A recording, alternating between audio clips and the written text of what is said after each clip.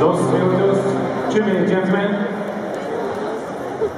Algunos empezaban a ver un cierto cansancio de victorias y por lo tanto un declive más o menos lento. Sin embargo, el jugador suizo sigue poniendo en la pista la verdadera dimensión de su figura.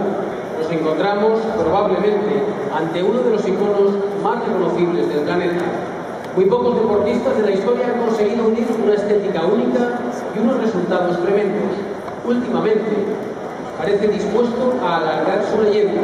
Aparece cuando quiere y además lo hace para ganar.